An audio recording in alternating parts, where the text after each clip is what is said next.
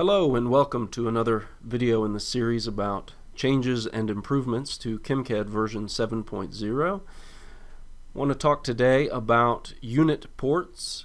Those are the red and blue dots you see on unit operations that allow you to connect streams, inlet and outlet.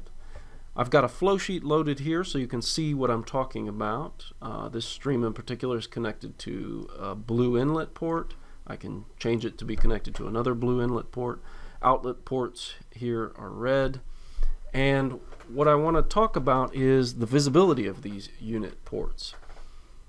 As I zoom in or out, you see that these ports can become a little cluttered, especially with smaller unit operations.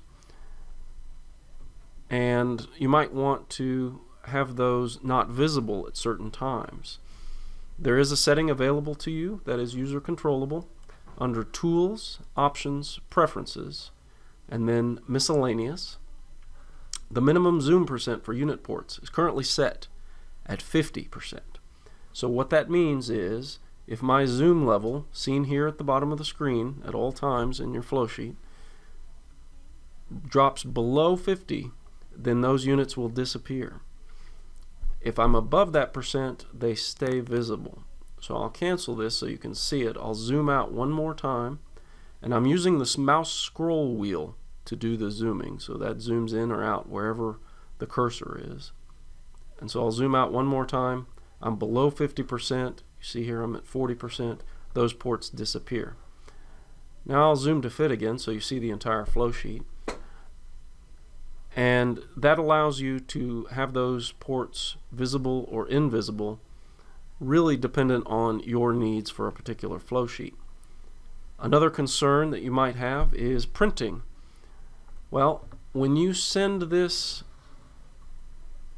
flow sheet to print, either by clicking print or print preview, and I'll preview it here, you'll notice that those ports are not transmitted to the printer. So you don't have to worry about those red and blue dots showing up on your print. And I'll close that. And there's one final place that is of interest. Under the Edit menu, if you copy the flow sheet to the clipboard so that you can paste it into another program like Microsoft Word or some other document editor, when we copy the flow sheet to the to the clipboard, those ports are not sent along with the graphic. So you don't have to worry again about those ports cluttering your flow sheet when it comes time to present it.